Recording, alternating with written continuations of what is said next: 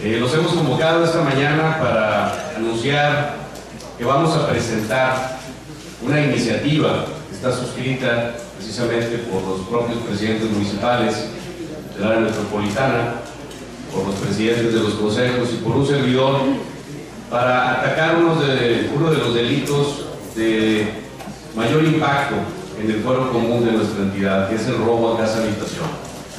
Todos los medios de comunicación han dado cuenta y la gente en general cuando estamos visitando las colonias y tenemos contacto con ellos, que el robo a casa habitación ha causado gran impacto en nuestra entidad y que tanto los presidentes municipales como un servidor estamos cerrando filas para atacar este delito y para bajar de manera considerable los índices delictivos relacionados al robo a casa habitación. Es una de las expresiones delictivas más delicadas. Cuando ocurren este tipo de cosas, la gente se siente vulnerada en su hogar, ya no puede estar tranquilo dentro del mismo, él y su familia, y queremos que en el estado de Nuevo León y particularmente también en el área metropolitana el robo a casa habitación baje y baje de manera considerable. Para ello hemos estado trabajando de manera coordinada con las policías municipales y la estatal. Tenemos eh, operativos específicos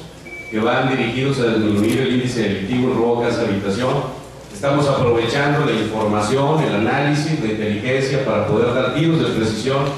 y para esto, como siempre lo hacemos, pedimos la colaboración de la ciudadanía,